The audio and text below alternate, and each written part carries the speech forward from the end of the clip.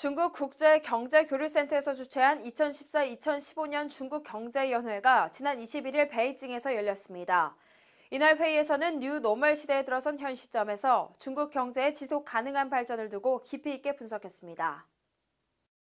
중국 경제가 여러 해 동안의 고속 성장 시대를 끝내고 중고속 시대로 접어든 만큼 뉴 노멀 상태가 현재와 향후 중국의 새로운 경제적 기준이 될 전망입니다.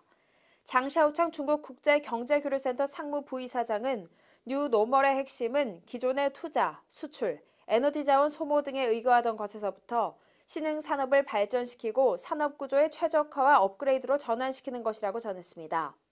현재 중국 경제가 뉴 노멀 시대에 들어서면서 중등 소득자가 꾸준히 늘어나고 있는데 2020년에는 6억 명에 이르러 총 소비액이 2010년의 3배를 넘어설 것으로 예상됩니다. 이 밖에 중국이 성숙된 글로벌 시장으로 부상됨에 따라 구매력과 수요가 더욱 안정적으로 성장할 것으로 보입니다.